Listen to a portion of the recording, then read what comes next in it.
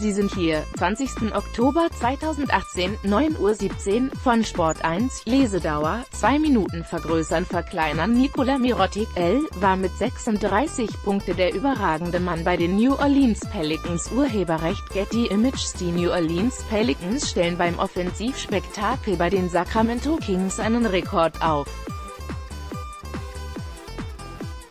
Kawhi Leonard glänzt erneut für die Toronto Raptors.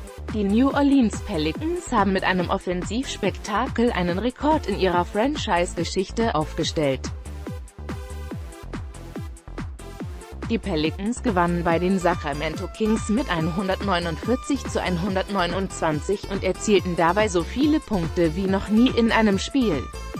Topscorer beim Team aus Louisiana waren Nikola Mirotic 36 Punkte und Anthony Davis 25 Punkte, 10 Rebounds. Wir haben einfach schnell gespielt, den Ball verteilt und uneigennützig gespielt.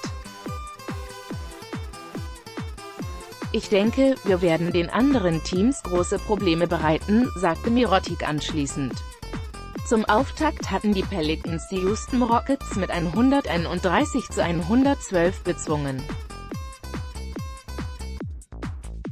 Spielplan der NBA Leonhard glänzt erneut für Raptors angeführt von Kawhi Leonard haben die Toronto Raptors das Topspiel der Eastern Conference für sich entschieden.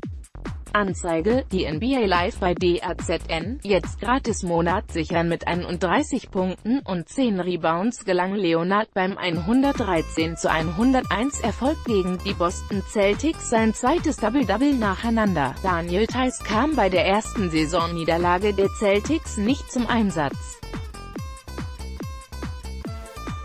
Sport 1 ist die Nummer 1 Plattform, wenn es um Live-Sport geht.